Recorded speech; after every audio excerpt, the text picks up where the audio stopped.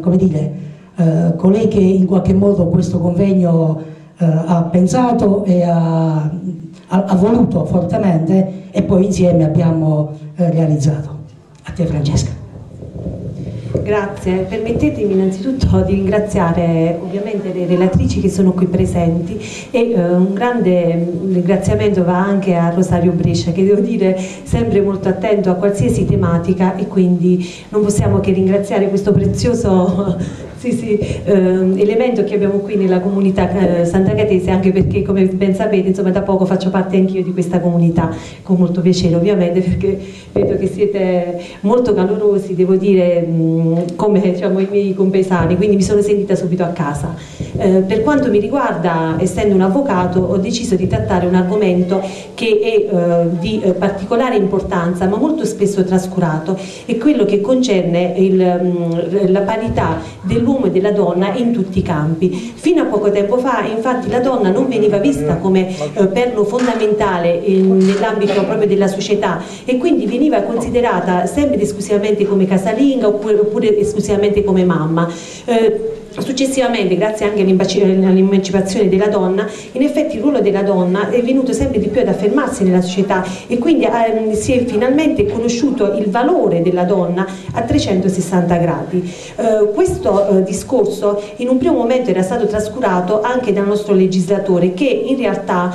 non ha mai affrontato eh, con, molta, ehm, con molto diciamo, approfondimento quella che era la questione relativa alla tutela della donna. In un primo momento si era pensato pensato, seppur timidamente, di considerare la parità dei sessi esclusivamente nella Carta Costituzionale, quindi eh, risale eh, ovviamente nel 47. Successivamente, grazie anche eh, alla volontà della donna e alle capacità della donna nel mondo del lavoro, si è voluto affermare anche il diritto fondamentale della donna in qualità di lavoratrice, quindi lavoratrice non solo a casa, ma lavoratrice anche nel mondo esterno. Ed è così che il legislatore è voluto intervenire con una eh, normativa già nel 76 1947. successivamente, grazie anche all'emancipazione della donna e quindi al ruolo sempre più fondamentale della stessa all'interno della società, si, ehm, il legislatore ha voluto ehm, dedicare att attenzione anche a quella che era la uh, disciplina uh, regolamentare della stessa e così eh, nel 2006, precisamente con il decreto legislativo 198, è stato istituito il cosiddetto codice delle pari opportunità tra uomo e donna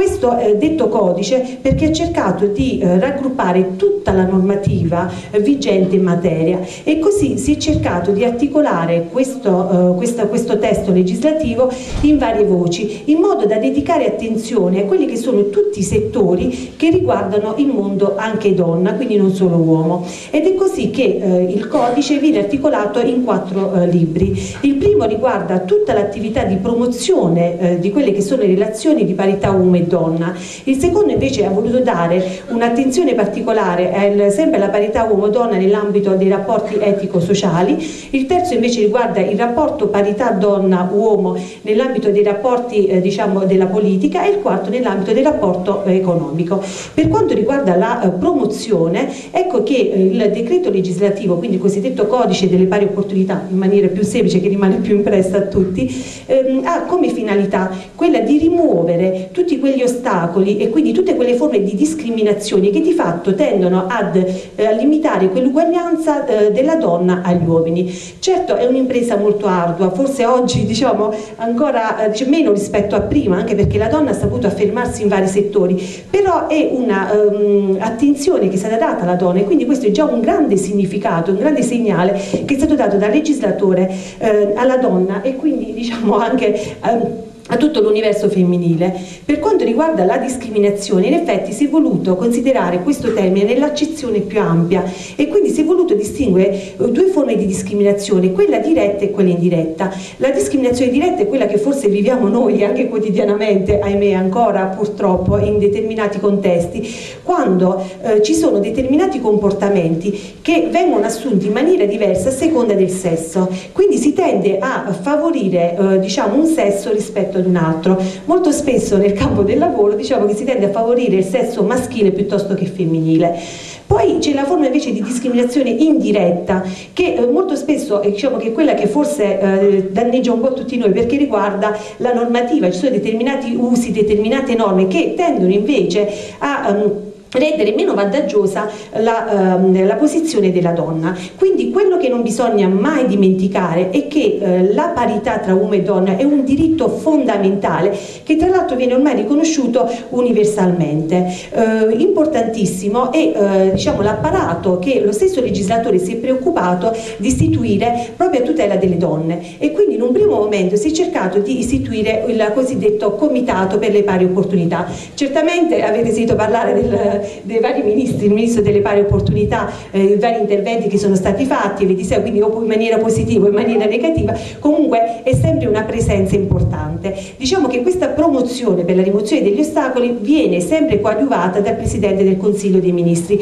Ovviamente di particolare rilievo è l'attività che viene posta in essere dal Ministro delle pari opportunità che viene coadiuvata eh, sia dal vice, Vicepresidente che dal Segretario nell'attività, un'attività che devo dire davvero molto molto eh, diciamo, eh, impegnativa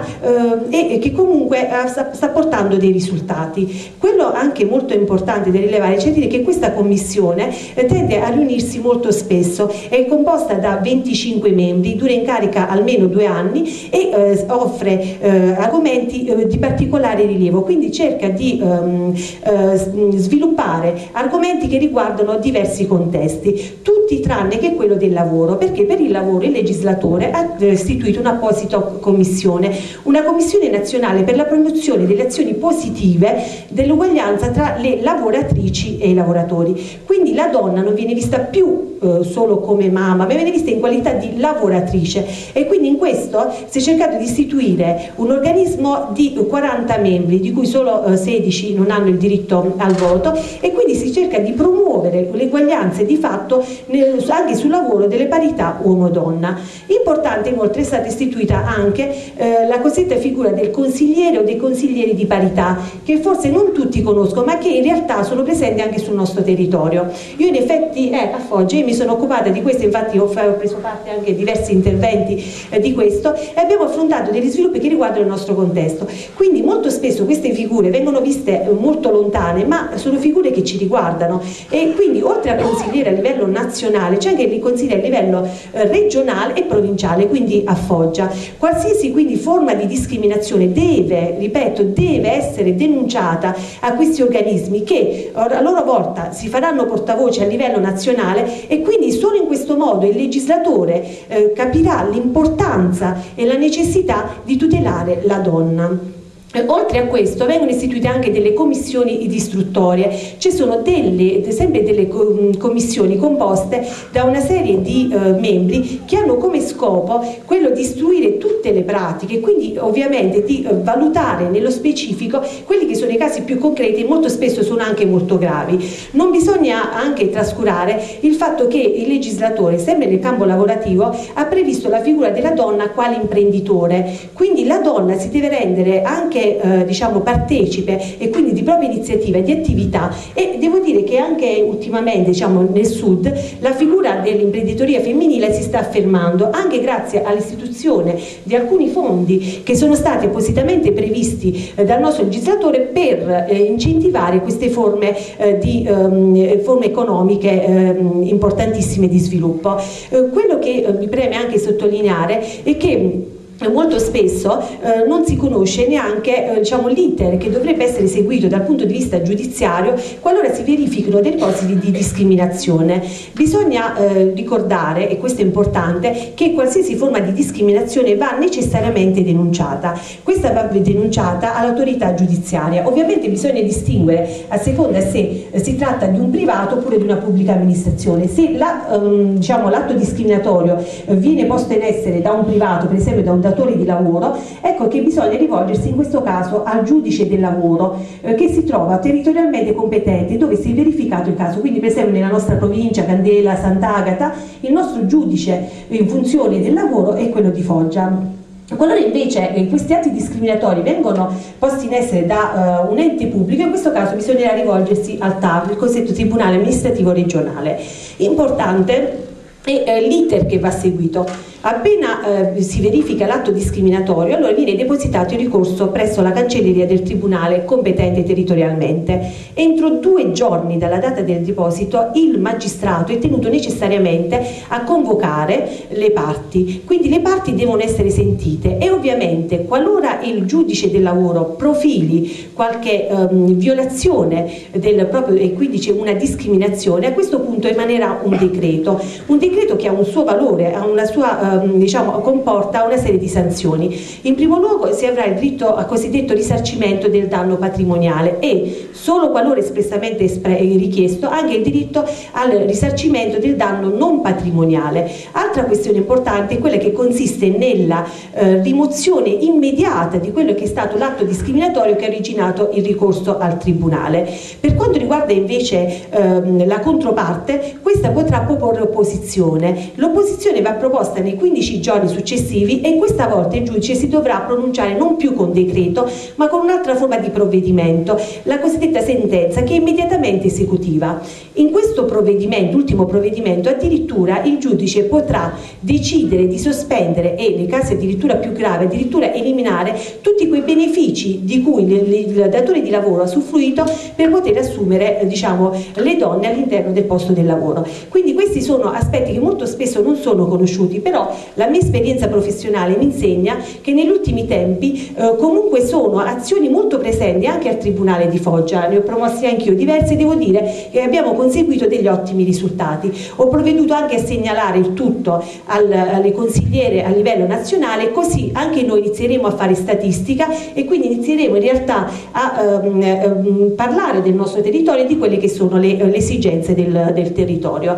Per quanto riguarda invece, eh, oltre diciamo, all'aspetto diciamo, della promozione, quello che riguarda la parità tra uomo e donna si verifica anche giornalmente nelle nostre case, diciamo, i rapporti tra i coniugi oppure i rapporti diciamo, con le persone esterne. Per i rapporti con i coniugi ha provveduto già il legislatore eh, con la normativa del codice civile, pertanto ha previsto una parità tra uomo e donna, sia la moglie che il marito, finalizzati proprio a tutelare eh, la donna. Dal punto di vista esterno ovviamente potrebbero esserci anche degli atti persecutori, la cosiddetta legge sullo stalking che tutti avremmo riconosciuto, Ovviamente questo termine inglese molto spesso non viene assimilato, però sono dei veri e propri atti persecutori che il legislatore, attesa la gravità, ha deciso addirittura eh, di... Um, renderli, ehm, eh, diciamo, derubricarli proprio dal punto di vista penale, quindi hanno una loro valenza, una loro valenza penale. Importante inoltre nell'ambito del settore è quello che riguarda eh, diciamo, anche l'imprenditoria femminile. Eh, l'imprenditoria femminile, come dicevo poc'anzi, è stato oggetto di attenzione anche da parte del legislatore ed è stato istituito un apposito fondo.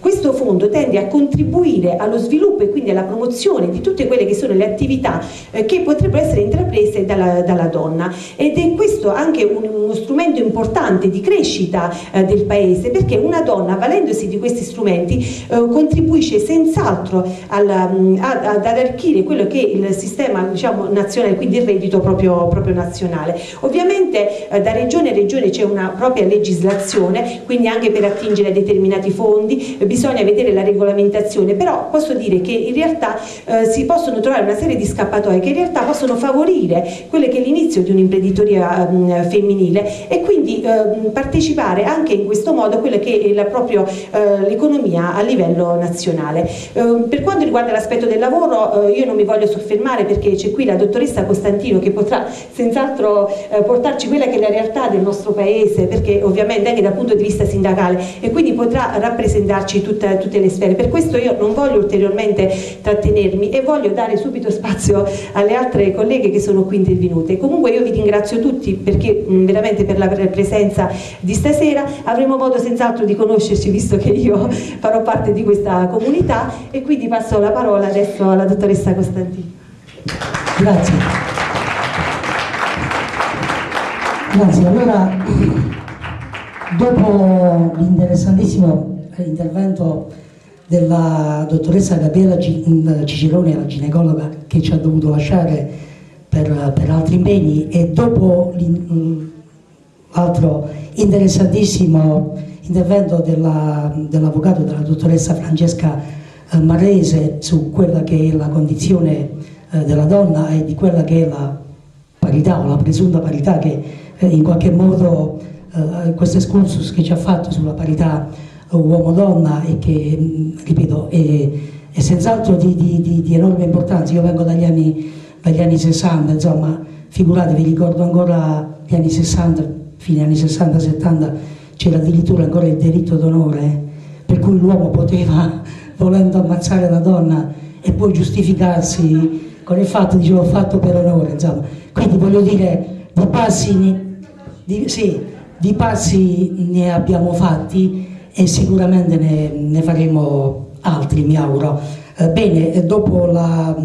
la dottoressa Marrese, anzi apro giusto una parentesi, eh, già che ha appena finito, terminato il suo intervento, per dirvi che nel caso eh, la dottoressa Marrese, come giustamente diceva, fa parte della nostra comunità, vive qui a Sant'Agata di Puglia, è una nostra concittadina, per cui laddove ci dovesse essere necessità, un consiglio, qualcosa, lei è una nostra amica, una, nostra,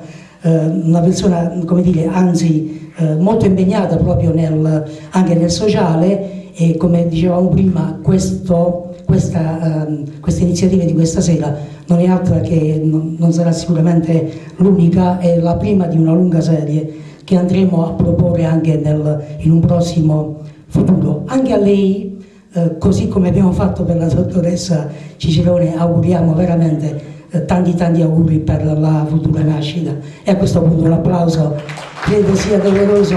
anche per lei. Bene, passo senz'altro la parola alla dottoressa Carla Costantino che è segretaria territoriale CISL di Foggia e che come giustamente già anticipato l'avvocato Marese, sicuramente parlerà di, quelli, di, quelle che sono le problematiche legate al ruolo della donna, immagino in quanto lavoratrice, suppongo. Prego. Allora, buonasera a tutti. Intanto volevo fare un piccolissimo appunto, no? non è un appunto di rimprovero al nostro bravissimo moderatore, perché mi ha presentato come segretaria territoriale della CISL. Io eh, litigo con i miei colleghi perché non voglio che mi si chiami segretaria, ma bensì segretario, perché il ruolo è un ruolo al maschile, perché il segretario della Confederazione è un ruolo maschile, e segretaria che per troppi anni è stato un ruolo magari anche un po' sottovalutato o legato alla figura femminile, preferisco che questo non accada almeno nell'esercizio del, delle mie funzioni. Non era solo una battuta perché con i miei colleghi quotidianamente vi garantisco che non è semplice lavorare in una squadra dove, eh, come le organizzazioni sindacali che per lunghi anni e per lungo tempo hanno visto una presenza femminile femminile veramente molto molto eh, come dire molto carente. Quindi era giusto per stemperare un attimo. Io vi devo ringraziare per questa opportunità e mh, soprattutto perché anche insomma i giorni sono particolari a ridosso delle feste magari tutti siamo impegnati eh, in famiglia o per altre questioni. Però credo che questo sia un argomento che è veramente sempre di molta attualità perché non si finisce mai di parlare di donne, non si finisce mai di parlare di questa integrazione che oggi più che mai è un elemento che viene eh, richiesto necessariamente per tutto quello che è la connotazione della nostra, della nostra vita. E quindi vi ringrazio per, e devo fare i complimenti sia al tavolo delle relatrici sia al moderatore perché vi garantisco ho avuto l'opportunità e ho l'opportunità quotidianamente di frequentare anche eh, livelli provinciali ma vi posso rassicurare che stasera il livello del, eh, del convegno ha veramente dei toni molto molto interessanti e molto molto alti. Eh, noi viviamo un periodo particolarmente difficile, non è nuovo a nessuno, sappiamo bene che siamo, eh, stiamo soffrendo questa grande instabilità finanziaria che chiaramente ha portato come dire, al nostro paese eh, un, una marea di problemi, ha messo a rischio gli investimenti, ci ha fatto aumentare il debito pubblico, in questi giorni state sentendo parlare e, e anche sparlare di questa famosa manovra finanziaria, eh, moltissimi moltissimi l'hanno definita lacrime e sangue ed è una manovra veramente per le quali noi stiamo mettendo in campo delle grandi iniziative, delle grandi mobilitazioni come organizzazione sindacale, quindi anche il nostro territorio è coinvolto in queste iniziative perché noi riteniamo che questa manovra non sia una manovra equa, Sapevamo benissimo che doveva essere una manovra di rigore, ma accanto al rigore noi volevamo la equità, che non riusciamo molto a intravedere perché come al solito va a finire poi che a pagare sono sempre i soliti noti, sono sempre quelli che hanno le ritenute alla fonte e anziché invece eh, eh accentuare discorsi di controllo all'evasione, discorsi di tassazione sui grandi patrimoni, ci siamo ritrovati come sempre ad penalizzare i dipendenti e i pensionati. Quindi noi come organizzazione in questi giorni siamo impegnati in questo senso perché chiederemo al governo immediatamente l'attivazione di un tavolo di concertazione che dovrà rivedere con noi, con le parti sociali, questi importanti temi. Perché mh, il nostro eh, neo presidente non si può giustificare dicendo che non c'è stato tempo per la consultazione quando invece solo per decidere i sottosegretari sono andati via nove giorni. E invece la riforma to che toccava le pensioni di, una, di persone che hanno magari oggi maturato il requisito per andare in pensione e con la riforma si dovranno ritrovare ad aspettare cinque anni, amici miei, non un mese, due, tre, ma cinque anni, lì non c'è stata, stata questa fretta eccessiva di arrivare a definizione. Tornando al tema del convegno, io infatti ho preso qualche appunto perché voglio evitare poi di incorrere in quel difetto sindacale di eh, lasciarmi prendere dalla, eh, dalla, parola e non smetterla più perché vorrei essere anche um, diciamo abbastanza sintetica. Nel nostro paese l'accesso delle donne nel mondo del lavoro sinceramente ha, eh, è al di sotto di qualsiasi media europea, proprio perché è fermo al 46% e soprattutto al sud, nel meridione, eh, addirittura arriviamo al 35%. Quindi questo dato ci preoccupa perché innanzitutto è eh, una creazione di PIL in meno, lo sappiamo benissimo, poi a questo si aggiunge il fatto che questa situazione determina anche delle, eh, ha delle influenze sia per, le, per, la povertà proprio delle famiglie, sia perché non aiuta eh, la famiglia che oggi è diventata come dire un ammortizzatore sociale di tutte le inefficienze anche delle pubbliche amministrazioni nella concessione dei servizi alla società, alla, alla società civile. Quindi noi promuovere l'occupazione femminile è una priorità, che non è il solito discorso di donne, ma è invece una eh, ragione di parità e di pari opportunità, perché una famiglia con due redditi, sapete benissimo, reagisce meglio a quella che ha una capacità di spesa e di risparmio sicuramente superiore e quindi eh, i rischi che derivano dall'instabilità del lavoro che oggi c'è e soprattutto in provincia di Foggia, nella nostra capitanata, quindi questo è un modo per reagire in maniera sicuramente rende più positiva.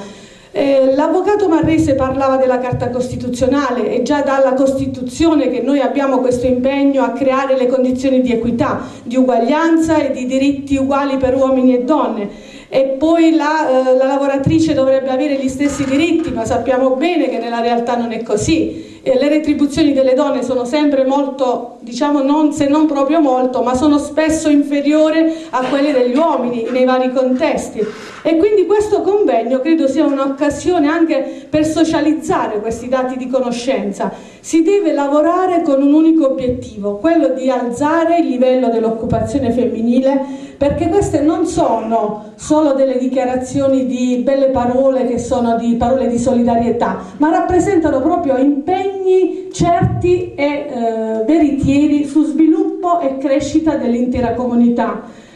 Ehm, queste, diciamo, dicevo prima, non raccontano la solita questione di donna perché il futuro del nostro paese passa attraverso questa grande mobilitazione. Quindi noi dobbiamo fare innanzitutto il punto della situazione partendo dai nostri dati territoriali, aiutare a capire quali sono le dinamiche presenti nel rapporto donna-lavoro e poi eh, contribuire a diffondere delle pratiche che sono positive in un'organizzazione di, in di lavoro che, consentitemi, dovrebbe tener conto delle specificità e delle esigenze che una donna ha nel mondo del lavoro e nell'espletare la sua professionalità. È eh, chiaro che non è nuovo a nessuno che siamo lontanissimi dagli obiettivi di Lisbona, noi dovevamo raggiungere nel 2010 il limite del 60% di occupazione femminile. Bene, non l'abbiamo raggiunto, nel nord Italia la situazione è meno infelice che nel sud, però noi siamo lontani da, quel, da quei parametri perché noi siamo praticamente eh, a 46% eh, in Italia, per non parlare poi di quella famosa forbice nord e sud dove siamo fermi al 34%. oddio, questi dati molte volte sono anche un po' falsati, perché noi oltre al problema dell'occupazione femminile abbiamo il problema del lavoro nero, abbiamo il problema dei rapporti di lavoro non regolari, abbiamo il problema falsa, eh, del falso utilizzo del lavoro, eh, de, del lavoro mh, diverso, delle nuove tipologie, tipologie contrattuali, perché la flessibilità del lavoro non è quella il male, il male è quando la flessibilità si trasforma in precariato e questo garantito nel nostro territorio succede molto. Ecco perché noi come organizzazioni sindacali abbiamo anche la necessità e l'obbligo di vigilare affinché le aziende abbiano l'amore la, eh, per la legalità, per il rispetto delle, delle regole. Ecco perché l'occupazione femminile diventa la chiave fondamentale per il rilancio della competitività noi pensiamo che, eh, come CIS soprattutto, che occorre ogni tanto richiamare questa nostra classe politica che molte volte è distratta da futili motivi, molte volte è attenta a preoccuparsi di discussioni che non hanno a cuore le sorti del Paese, non hanno a cuore lo sviluppo della capitanata. Noi eh, alcuni problemi eh, veramente, e questa è una parentesi proprio che apro e chiudo in, un, in 30 secondi, eh, lamentavamo qualche giorno fa con i nostri colleghi la, la, scarsa attenzione che noi abbiamo nella nostra classe politica riguardo ai temi della sanità. I temi della sanità, il diritto alla salute è, un, è una questione di vitale importanza, l'abbiamo sentito prima anche sotto l'aspetto della prevenzione, ma riguardo all'aspetto della eh, garanzia che il cittadino dovrebbe avere, noi parliamo oggi solo di chiusure di ospedali, non parliamo di altro, non parliamo invece di riconversione di queste strutture, non parliamo di servizi territoriali per l'utenza, di conseguenza abbiamo una situazione a livello di sanità che oggi veramente comincia, comincia a preoccuparci. Allora, io, eh, per essere un po' più sintetica, perché poi mi rendo conto che comincio ad andare un po' troppo, troppo oltre, eh, quindi dobbiamo, per aiutare questo discorso della, della, emancipazione femminile, superare il pregiudizio delle imprese verso la maternità, perché voi non so se sapete, ma molto spesso succede che quando una donna viene assunta si fa direttamente firmare un foglio in bianco che rappresenterà il foglio delle dimissioni volontarie nel caso poi la donna dovesse avere la fortuna, come le mie colleghe qui sedute al tavolo con me, di avere una maternità. E questo io credo che in una società civile come la nostra sia quanto di più aberrante possa ancora capitare. Noi dobbiamo creare un nuovo equilibrio tra donne e uomini, tra famiglia e lavoro, tra spazio privato e spazio pubblico tra doveri e responsabilità e non per ultimo anche tra carriera e meritocrazia perché a prescindere dalla, dal sesso della persona noi dobbiamo puntare al discorso della meritocrazia. Dobbiamo quindi invertire questa rotta proprio dobbiamo cercare di fare anche quel salto culturale e quindi dobbiamo incentivare le politiche attive per il lavoro a partire dalla formazione. E poi le, le politiche a sostegno della famiglia Utilissima, Francesca, sono le norme relative alla contrattazione di secondo livello, che rappresentano quel trade union tra le esigenze delle aziende territoriali e le esigenze delle lavoratrici e noi spingiamo su questa leva affinché sia le, la contrattazione di secondo livello e quindi attraverso anche gli enti bilaterali possano poi dare sostegno a questo nostro obiettivo. Serve quindi una strategia forte per l'occupazione e la qualità del lavoro che consenta quindi anche l'affermazione delle donne nei luoghi dove si prendono le decisioni, dove devono riuscire a sfondare quel famoso tetto di cristallo che è invisibile ma c'è, è invisibile, non lo vediamo, ma per arrivare ai posti dove si comanda eh, vi garantisco che ci sono enormi, enormi difficoltà. Ecco perché dobbiamo fare questo cambio di passo ed è una sfida che riguarda tutta la società, uomini e donne, non soltanto le donne, e deve essere anche questo cambiamento stimolato da campagne di comunicazione, lo stanno facendo molti paesi europei, perché noi dobbiamo badare alle donne ma all'innovazione, alla crescita. Ecco perché i servizi socio-educativi devono essere potenziati, i tempi di vita e di lavoro, le politiche di conciliazione, lo diceva bene anche Francesca prima. Ecco perché la battaglia per l'aumento dell'occupazione femminile, amici miei, ce la giochiamo soprattutto nel mezzogiorno, nel meridione E quindi, e mi avvio alle conclusioni perché credo già di, avervi, eh, di aver impegnato troppo, di aver chiesto a voi già troppa pazienza, la prima cosa da capire è quella se noi veramente vogliamo che l'occupazione femminile diventi insieme alla produttività e alle retribuzioni il terzo elemento fondamentale per mettere in campo le strategie di sviluppo sia nazionale che regionale ma anche territoriale. Abbiamo cominciato a fare dei piccoli passi, il piano straordinario per il lavoro regionale, il patto per il lavoro provinciale che deve essere comunque ancora riempito di contenuti, il piano per il sud, ma dobbiamo utilizzare bene queste risorse perché oggi, visto che siamo in una situazione di crisi, assolutamente non possiamo permetterci di disperdere nessuna risorsa.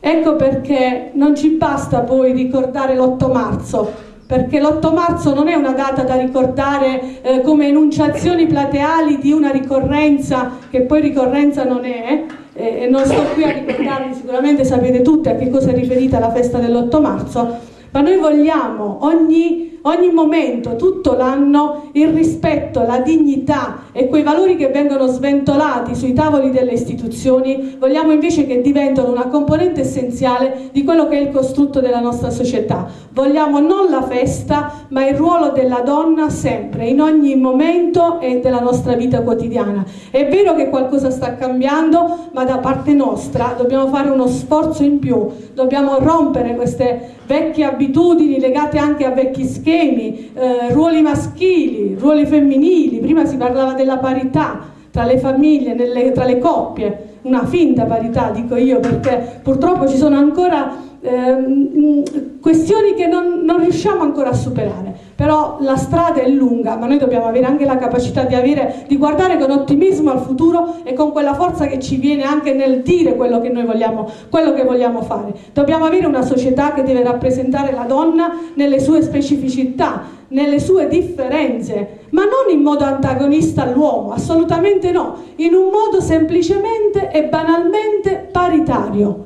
C'è molto da fare, è vero, e anche questa volta però l'invito a voi tutti, ma lo dico prima a me stessa, anche nel ruolo che ricopro, è quello di essere attori della crescita di questo territorio, in una società eh, che dobbiamo cercare di costruire anche più a misura di donna e quindi anche un po' più umana, perché unicamente se noi in prima persona sappiamo essere noi stessi portavoce di valori, portavoci di valori di rispetto, di dignità, di apertura ma anche di tolleranza, solo in questo caso noi potremo sperare di raggiungere questi obiettivi. E eh, lasciatemi chiudere proprio con una frase di, di, Papa Giovanni Paolo II che mi piace molto. Lui enunciava questa frase, io la faccio mia in, eh, quando parlo di questa, di questa questione, di questa differenza tra uomini e donne. È necessario, diceva eh, Papa Giovanni Paolo II, cercare il giusto equilibrio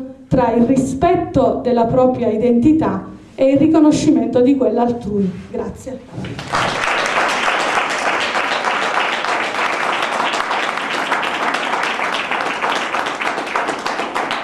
Grazie di cuore anche alla dottoressa Carla Costantino. Non, non avevamo dubbi sulla, sulla profondità e sul e su quello che eh, sicuramente la, la, la, consistenza e il valore del, sarebbe stato il valore e la consistenza del suo intervento e ne abbiamo avuto sicuramente prova. Eh, quindi la ringrazio di cuore e, e anche a lei eh, eh voglio dire, lasciare questo, questa porta aperta, questo invito a un'eventuale prossima, una futura iniziativa qua a Sant'Agata. Sono certo che ehm, farà piacere, farebbe piacere a tutti quanti di averla anche sì, certamente, certamente. Bene, ehm, ci stiamo avviando alla conclusione, ehm, non ci rimane adesso che ascoltare l'intervento della, della, nostra amica Maria Grazia eh, Bonomo, presidente dell'associazione eh, Mamme Sant'Agatesi e come vi dicevo prima eh, loro, eh, loro, come associazione si sono già resi ehm, eh, all'inizio dell'anno organizzatrici di diversi eventi, di alcuni eventi qua a Sant'Agata, uno di questi fu proprio la partecipazione eh, locale di, della eh, partecipazione alla manifestazione se non ora quando. Anzi, colgo l'occasione per dire che domani a Piazza del Popolo, ti ho sciupato la parola, vabbè ho anticipato un attimo la battuta. A Maria Grazia, però vabbè insomma penso che un po' tutti quanti noi l'abbiamo ascoltato per televisione, però insomma domani c'è una mobilitazione eh, nazionale, eh, a livello nazionale, a Roma ci sarà un incontro e eh, un raduno soprattutto di, anzi di donne soprattutto, sì, poi ovviamente parteciperanno anche i maschietti e quindi è, è importante e fondamentale che questo cammino intrapreso dalle donne eh, è già ehm, come, de, come dire, eh, evidenziato prima dalla dottoressa, da, dall'avvocato Marrese e dalla dottoressa Costantino, ehm, è importante che stia continuando a livello locale per quanto ci riguarda con questa, anche con questa iniziativa. A livello nazionale con quella che sarà un'iniziativa che credo, spero e mi auguro avrà successo domani proprio con questa mh, successiva nuova edizione di Se non ora quando. Benissimo, passo senz'altro la parola all'amica Maria Grazia Buonomo, prego. Vabbè, io volevo dire che mm, praticamente eh, noi siamo solidali a due tipi di manifestazione. Una è stata il 25 novembre ed è la giornata mondiale per l'eliminazione delle violenze sulle donne, importantissima perché è a livello internazionale. E l'altra ci siamo solidali domani con il comitato promotore apartitico del se non da quando che domani con la Guidi, che è la promotrice di questo, di questo comitato, porta in piazza la, un nuovo slogan che si chiama Se non le donne chi? Questo per promuovere, la, la, per promuovere, le donne in questo problema, dato che abbiamo una situazione critica, loro si propongono come risoluzione, eh, quindi portare al, la, la, democrazia civile, quindi la donna al 50% in parità con quelle che, che l'uomo. La, le mie colleghe qui di convegno hanno anticipato molti dei discorsi che volevo affrontare. Eh, uno è quello che anche se la legislazione è cambiata nel corso degli ultimi anni, 20 anni, si parte dal 75 quando appunto è stato abrogato il discorso dell'uomo che poteva fare di tutto alla donna, anche ucciderla non era penalmente eh, perseguita, anche un altro aspetto importante è quello della cultura. Eh, purtroppo la, la, società in cui viviamo è una società eh, fatta dagli uomini e per gli uomini, perché la donna fin, finora è sempre stata messa in disparte. Il suo ruolo principale è quello di fare la donna di casa, di curare i figli, il marito, la, le attività ex, eh, genitori anziani, le attività extradomestiche, eccetera. Però purtroppo non portando un reddito a casa, non portando prevalentemente soldi, viene considerata minore. Spesso i lavori che svolge sono, sono molto posti su una scala sociale molto bassa. Il ruolo della donna è fondamentale per il cambiamento e questo lo dobbiamo capire, lo dimostrano anche questi tipi di attività che vengono svolte domani, quelle di cui abbiamo parlato fino adesso e che anche la nostra collega della CISL, Carla, ci ha, ci ha sottolineato. E, il problema fondamentale parte già dalla, dalla prima educazione, dall'educazione infantile, perché spesso eh, le bambine vengono spinte a diminuire il loro spirito di iniziativa e rivolgersi più verso il ruolo di madre, di madre e di moglie. E soprattutto lo vediamo, sono una dimostrazione i giocattoli che vengono spesso dati alle bambine, le cucinine, la, la carrozzina, le bambolette mentre gli uomini cosa si regalano? Tutte quelle attività professionali tipo il falegname, tipo, proprio perché la donna deve rimanere nel suo ruolo mentre l'uomo deve avere la possibilità di vedere oltre. E quante volte noi mamme ci preoccupiamo anche così parlando tra di noi, dice eh, io ho due figli maschi, chissà che cosa faranno, mentre se hanno le figlie femmine dice tanto devono fare le mamme e quindi questo. Questo è il problema, un traguardo matrimoniale visto ancora e considerato ancora come oggi la cosa più importante per una donna invece in realtà non è questo. Purtroppo la donna nei momenti in cui ancora oggi, nonostante tutte le leggi, nonostante tutte, soprattutto nel meridione, la donna nei momenti in cui si sposa deve togliere tutti i suoi interessi noi veramente siamo un caso forse raro che continuiamo a fare quello che ci piace, quello che ci interessa, però purtroppo nascono i figli e quindi è più difficile per la donna sottrarsi a quei doveri coniugali che, che con il matrimonio comporta. L'uomo invece è proteso più verso un traguardo professionale che è prioritario per lui, esattamente come, quello, come lo è quello matrimoniale per la donna. E non lo sente affatto un contrasto con il suo ruolo di padre e di marito, infatti nel momento in cui ha altro da fare per, per, per, problemi vari, per problemi lavorativi e fuori di casa, lui sta bello tranquillo, dice tanto a casa c'è mia moglie che si occupa dei bambini. E la donna invece è costretta a rimanere a casa e, um, e in qualche modo eh, sviluppa una capacità di adattamento a questa situazione, al suo ruolo, e perde spesso la voglia, l'idea di proporre le proprie opinioni e di esporsi anche in un certo senso alla parità con il marito che dicevamo prima, cioè a livello, penso soprattutto nella nostra cultura meridionale, è difficile che venga fuori la personalità della, della donna e questo automaticamente comporta il concetto che la donna è meno intelligente dell'uomo e quindi è sicuramente messa in secondo piano, la parità dei sessi. Questo purtroppo anche se si pensa molte volte che è superato in realtà non esiste perché si parla ancora molto della violenza di genere femminile. E oggi in Italia ogni due giorni muore una donna per violenza soprattutto avuta in casa, soprattutto perché per, di tipo passionale e questo naturalmente è un problema della nostra società. La violenza va combattuta sia per quanto riguarda le donne e stasera sono contenta che ci sono molti uomini, sia per quanto riguarda gli uomini. È importante capire che la donna non deve avere solo un ruolo di donna e quindi di moglie, madre, figlia, ma deve avere, deve, bisogna dargli la possibilità di sviluppare i propri interessi, di creare, di cercare un proprio lavoro. Questo non vuol dire che tutte le donne che sono casalinghe sono frustrate, per carità, perché sono delle scelte consapevoli. Nel momento in cui uno decide di sposarsi vuol dire che com comunque ha come priorità l'educazione dei figli, che penso che è la cosa più fondamentale per per le, per le casalinghe. E la possibilità di lavorare però sicuramente li farebbe sentire molto più gratificate, sia perché porterebbero eh, porterebbero l'economia nella famiglia, quindi perché gli, data, gli, sarebbe data più la possibilità di, di partecipare e quindi di fare più uscite, di realizzare se stessi e quindi automaticamente di questo ne, ne gioverebbero i, i, figli, perché avere una mamma frustrata sicuramente non, non può agevolarli. Che cosa... Certo, perché prima di tutto bisogna capire che la qualità cioè, se un figlio si sta 24 ore, magari si è frustrati, sicuramente il figlio ne trova più aggiovamento starci due ore, ma starci serenamente. La nostra associazione si pone come obiettivo principale la parità dei sessi, attraverso un innalzamento della cultura, sia con proposte teatrali che laboratori e altro. Soprattutto si pone come obiettivo principale la cooperazione, che la crediamo alla base dello sviluppo economico futuro del nostro Paese. Tutto questo è importante, anche se non può sembrare presuntuoso da parte nostra, svilupperà nei nostri figli qualcosa di nuovo, una visione diversa della vita, un modo diverso di concepire il ruolo della donna.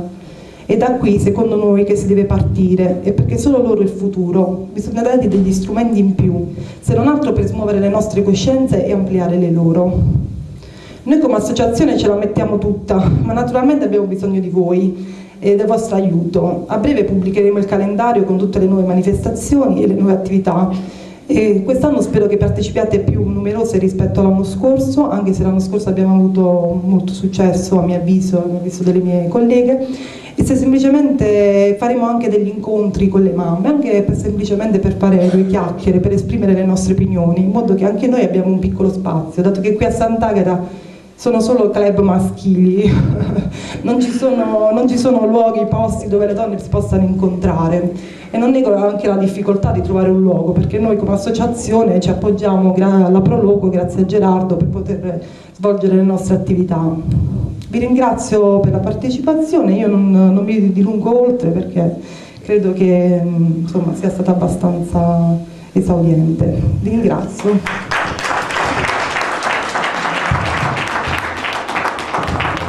Grazie a Maria Grazia, scusate, po' di parole.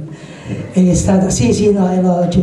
ti, ti, apprezziamo, ti apprezziamo anche per questo. Mi rendo conto che è difficile parlare per ultimo perché davvero diventa poi difficile trovare argomentazioni e parole eh, quando chi ti ha preceduto eh, sono delle persone preparate e brave,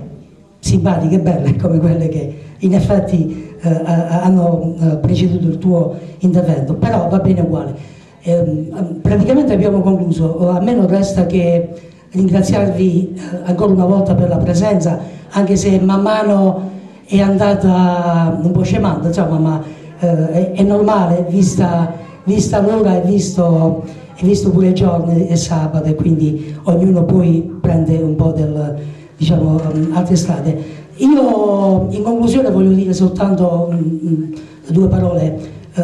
proprio a, a, conclusione. Voglio ringraziare ancora una volta la, l'avvocato Marrese per aver, dato, per aver stimolato me e noi a questa bella iniziativa che sono certo oh, ci farà uscire chi già è andato via, ma eh, chi è ancora qua, ci farà andare via da qua questa sera sicuramente più ricchi, se non altro di nozioni, di contenuti, di, di, di, abbiamo parlato di prevenzione medica, abbiamo parlato di lavoro, di, eh, parità, di, di, tutto. Quindi eh, io non posso che augurarmi eh, che quelli che sono gli intenti poi che abbiamo già dichiarato, e cioè che ci rivedremo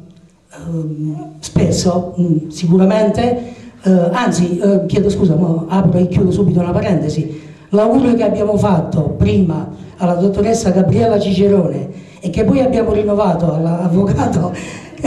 all'avvocato Marrese e lo dobbiamo fare pure eh, alla nostra cara amica Maria Grazia Bonomo, perché per chi non lo sapesse, insomma, un, un caro augurio pure, pure, a lei. E, eh, è un po' in tono minore perché un po' di gente è andata via, ma sicuramente aveva lo stesso eh, sentimento. Io vi voglio lasciare, eh, visto il, il periodo del clima natalizio, con veramente con un carissimo augurio mh, mm, eh, di cuore veramente da parte di tutte, di tutte, le partecipanti a questo convegno, da parte mia personale, un caro augurio a voi e alle vostre famiglie per qualche, eh, la prossima festività natalizia. Voglio giusto ricordare, approfitto un attimo della vostra pazienza e della vostra bontà, parlavamo prima della pazienza delle donne, ma pure gli uomini, dobbiamo dire che sono, sono bravi, approfitto giusto per dire, voglio, sì, insomma, un bravo premio. Voglio soltanto ricordare per chi non lo sapesse che eh, giovedì, eh, mercoledì prossimo 14 a Castelluccio dei Sauri il nostro caro amico eh, Don Michele Falcone è stato parroco qua da noi per, per oltre 20 anni, eh, il quale mh, ci ha tenuto, sono stato ieri sera a casa sua, eh, anzi mi aveva detto di portare il suo saluto affettuoso a, alla platea, al pubblico e a, a, alle persone che, ai convenuti diciamo, al convegno e, dicevo il 13, ehm, il 14 a Castelluccio dei Sauri mm, ci sarà la presentazione di un suo nuovo libro, per cui insomma, ripeto, per quello che è l'affetto che come Paese abbiamo sempre dimostrato nei confronti di Don Michele Falcone, mi è sembrato giusto dirvelo. Uh, un'altra cosa che voglio dire, uscendo fuori all'ingresso, per chi vuole c'è la possibilità di poter uh, degustare, c'è una, una degustazione gratuita di panettone artigianale e di vino doc locale di un'azienda azienda Gallo di Ascoli Satriano che questa sera ci ha voluto eh, bontà sua onorare anche lui della sua presenza, della loro presenza. E io vi voglio lasciare, come dire, eh, tutti hanno, hanno, fatto degli interventi molto belli, vi voglio lasciare eh, con un saluto particolare, con un augurio eh, veramente eh, affettuoso tutti quanti per quella che è stata questa bella presenza questa sera, eh, certo siamo rimasti un po' meno adesso, però insomma all'inizio era quasi pieno il teatro e questo ci conforta per le prossime iniziative. Vi voglio lasciare con un, con un, con un detto, con un proverbio, eh, visto che siamo in tema natalizia, in tema natalizio, con un proverbio che ho fatto mio eh, pubblicandolo sul nuovo numero della rivista Il Sant'Agatese che eh, mi onoro di produrre qua a Sant'Agata e eh, dicevo ve lo voglio eh, leggere e ve lo voglio, lo voglio fare mio e vorrei farlo anche vostro, ve lo voglio dedicare e, e con questo chiaramente concludo e vi ringrazio veramente di cuore. Il detto, il, la frase è questa qua, se c'è luce nella tua anima ci sarà, belle, ci sarà bellezza nella tua persona, se c'è bellezza nella tua persona ci sarà bellezza nella tua casa, se c'è bellezza nella tua casa ci sarà ordine nel tuo paese, se c'è ordine nel tuo paese ci sarà pace sulla terra. Un augurio di pace a tutti quanti. Grazie e buona serata ancora a tutti quanti. Grazie.